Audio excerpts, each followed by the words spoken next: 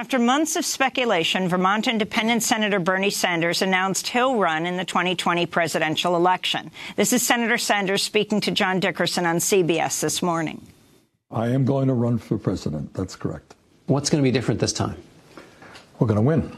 We are going to also launch what I think is unprecedented uh, in modern American history, and that is a grassroots movement, John, to lay the groundwork for transforming the economic and political life of this country. That's what's different. Senator Sanders sought the nomination in 2016 but lost out to Hillary Clinton. Sanders has long been one of the most progressive voices in U.S. politics and promised to rein in corporate and Wall Street greed while implementing social welfare programs like Medicare for All and free public college. In a 2015 presidential debate, Sanders declared climate change to be the greatest threat to national security.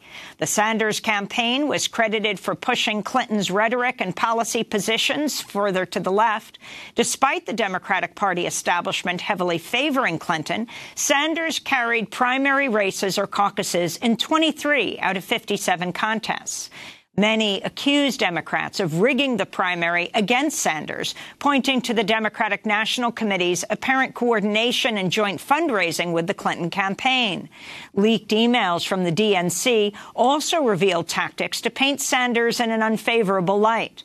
Sanders joins a crowded field of Democratic hopefuls, including fellow Senators Elizabeth Warren, Cory Booker, Amy Klobuchar, and Kamala Harris, and Congressmember Tulsi Gabbard, who endorsed Sanders in